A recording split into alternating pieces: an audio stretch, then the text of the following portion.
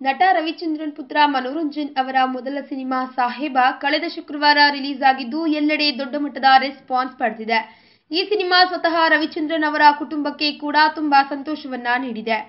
ಸಾಹೇಬ ಸಿನಿಮಾವನ್ನ ರವಿಚಂದ್ರನ್ ಅವರು ತಮ್ಮ ಪತ್ನಿ ಸುಮತಿ, ಮಗ ಮನೋರಂಜನ್ ವಿಕ್ರಮ್ ಮತ್ತು ಮಗಳು ಗೀತಾಂಜಲಿ ಜೊತೆ ವೀಕ್ಷಿಸಿದ್ದಾರೆ.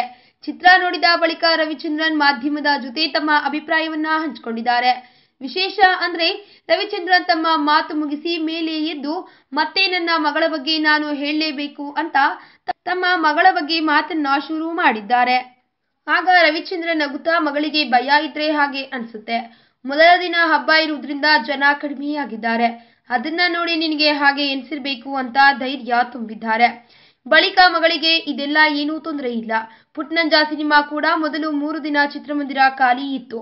ಪ್ರೇಮ್ ಲೋಕ ಸಿನಿಮಾ ಕೂಡ ನೂರು ದಿನ ಆದ ನಂತರ ಗೆದ್ದಿದ್ದು ಅಂತ ಹೇಳಿ ಮಗಳ ಆತಂಕವನ್ನ ದೂರ ಮಾಡಿದ್ರಂತೆ ಕ್ರೇಜಿ ಸ್ಟಾರ್ ರವಿಚಂದ್ರನ್.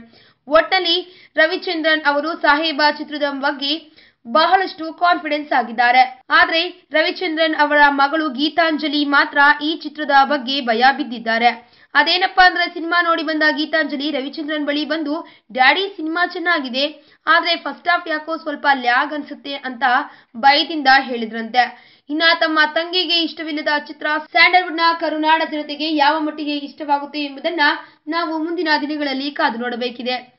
ಈ ವಿಡಿಯೋ ಬಗ್ಗೆ ನಿಮ್ಮ ಅನಿಸಿಕೆ ಹಾಗೂ ಅಭಿಪ್ರಾಯಗಳನ್ನು ನಮ್ಮ ಕಮೆಂಟ್ ಬಾಕ್ಸ್ನಲ್ಲಿ ತಿಳಿಸಿ. ಈ ವಿಡಿಯೋನ ಲೈಕ್ ಮಾಡಿ ಶೇರ್ ಮಾಡಿ ಹಾಗೂ ಮತ್ತಷ್ಟು ಲೇಟೆಸ್ಟ್ ಅಪ್ಡೇಟ್ಸ್ಗಾಗಿ ತಪ್ಪದೇ ನಮ್ಮ ಯೂಟ್ಯೂಬ್ ಚಾನಲನ್ನು ಸಬ್ಸ್ಕ್ರೈಬ್ ಮಾಡಿ.